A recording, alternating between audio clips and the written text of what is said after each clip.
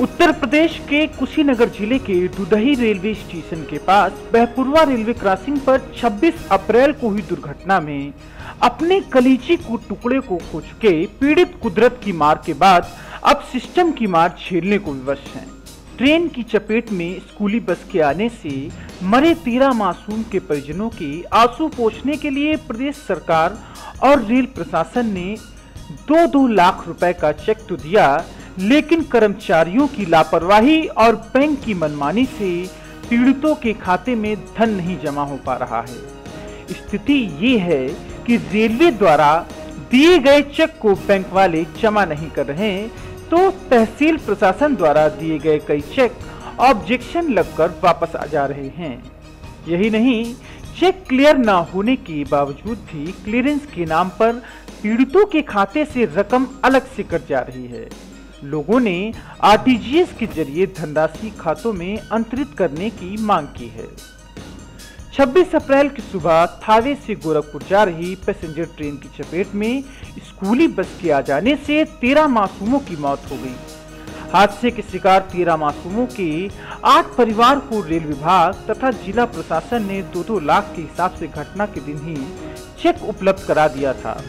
आनंद फानन में दिए गए चेकों में गड़बड़िया हो गई जिससे पीड़ितों को गलती दुरुस्त करने के लिए कई बार तहसील के चक्कर तक काटने पड़े। लेकिन बात यहीं तक सीमित नहीं रही। अपने दो बेटों को खोने वाले व्यक्ति ने जब तहसीलदार द्वारा दिए गए चेक को बैंक में जमा किया तो आउट ऑफ़ रेंज की टिप्पणी के साथ वापस आ गया।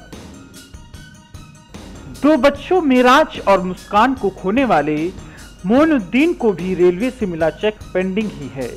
एक एक बेटी खोने वाले जहीर और नजीर को तो अपना चेक दुरुस्त कराने रेल विभाग के ऑफ़िस बनारस तक जाना पड़ा, लेकिन रुपए अभी भी खाते तक नहीं आ सका है। इन पीड़ित परिवारों का चेक, भुगतान के लिए बैंकों का चक्कर लगाना उनके दुखों पर भारी पड़ रहा है। पटौना से यहाँ तो ये मैनेजर साहब बोले कि ऐसा चेक हम रिसीव नहीं करेंगे, ऐसा कीजिएगा आप डब्बे में डाल दीजिए, ये चेक क्लियर नहीं हो पाएगा, लेकिन फिर भी आप अपने संतुष्टि के लिए डाल दीजिए।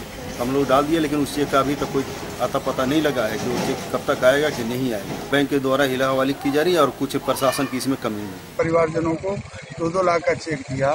वो हमारा जो तहसीलदार का खाता है, वो सेंट्रल बैंक का खाता है और उसी का चेक था। लाभार्थियों ने जिनको चेक दिया गया, इन लोगों ने ले जाकर अपने अपने खाते में, किसी के ग्रामीण बैंक में, किसी का इलाहाबाद बैंक में, किसी का किसी बैंक में, वहाँ पर अपना चेक जमा कर दिया।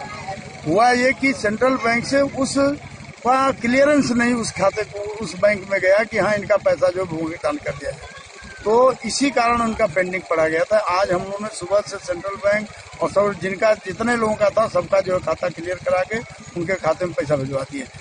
कुशीनगर से जनमत न्यूज़ के लिए अजीत सिंह की रिपोर्ट।